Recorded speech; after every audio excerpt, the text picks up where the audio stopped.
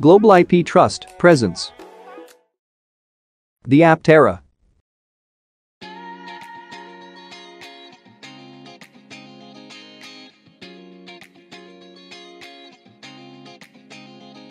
This is Aptera, the world's first solar electric three-wheeled car that has over 1,000 miles of range and doesn't need any charging for daily use.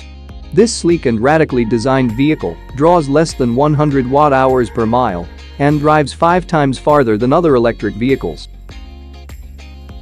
With its solar panels, the Aptera can harvest enough sunlight to travel over 11,000 miles per year in most regions.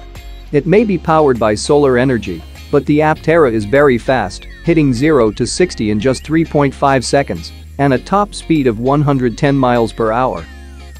It comes with an all-wheel drive system and vectorized torque to improve stability, control and comfort.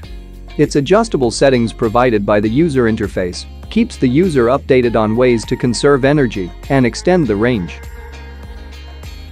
It is made with lightweight and strong materials, and its aerodynamic design boasts an impressive drag coefficient of 0.13. The company uses 3D printing tools, which are cost-effective and efficient.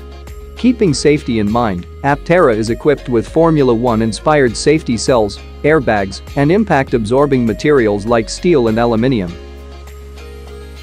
It is also equipped with Level 2 autonomy and other impressive features. This futuristic three-wheeled ride is becoming the best solution for eco-friendly and sporty travel.